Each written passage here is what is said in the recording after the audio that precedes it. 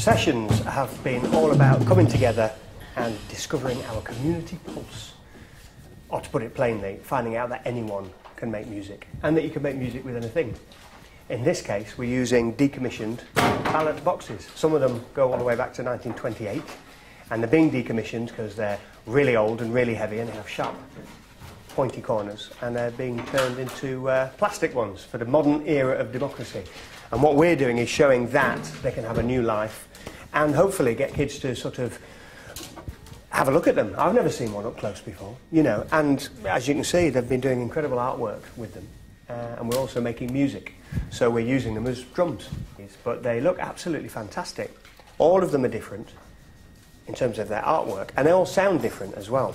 And everyone who's playing them are different people too. So all those differences are coming together and actually making really great music.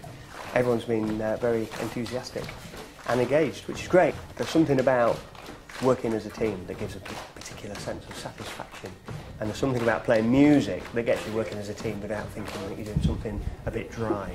We have been having discussions about democracy and what that means, and freedom, really, the freedom to do things that maybe in other societies you can't. And we've been finding out all sorts of interesting things along the way um, about practical things, not even about the big concepts of democracy, but stuff like you can't get direct debit or a good credit rating if you're not on the electoral roll, which for in the places that we're working in is actually very pertinent because we're, we're living in kind of sheltered housing and people who are transitioning into their adult lives. And that's really, really important stuff that none of us knew about, the people who are organising this. So lots of things have been coming out. We have had uh, a couple of guys saying, you know what, I think I might vote. I mean, if it, you know, if anything like this came back to Malton again, I'd be assured to be there. You know, it'd be absolutely fantastic. I think all the practice and stuff, and then you come to a different surrounding, so you don't know these people, so you're going to be a bit anxious, and you know. But once you once you sit there and you have the group and they're playing along, you get into that rhythm, and I just just let it go with me, you know. And do you think you're going to um, vote when it comes round to your turn to, for voting? Yeah? Yeah. Yeah? Yeah. Yeah. I think the young people performed absolutely fantastically. Um, I had no idea that uh, there was going to be so much energy in the room.